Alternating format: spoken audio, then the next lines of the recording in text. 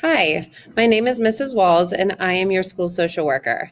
I work with students to address mental health, academics, attendance, or anything else that is impacting your success here at school.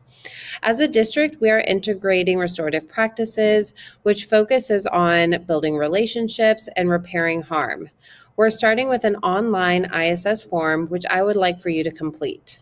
Here at school, we have grade level administrators, teachers, and guidance counselors who can be a resource for you. Our goal is that you have someone here at school that you can talk to.